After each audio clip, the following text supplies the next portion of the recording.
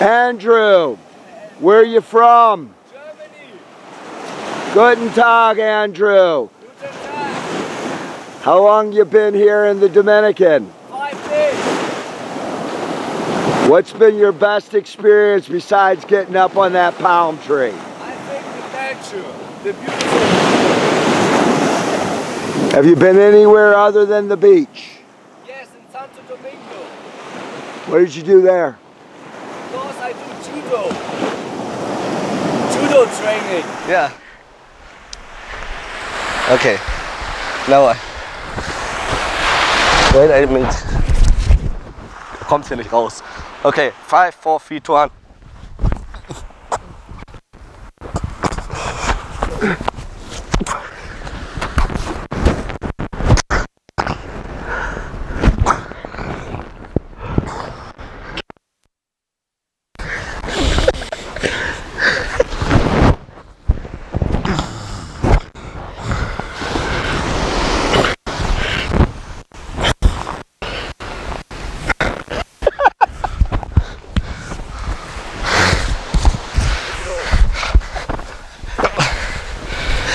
Thank you.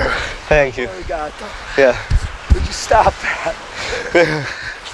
thank you. Let's get your, uh, Yeah.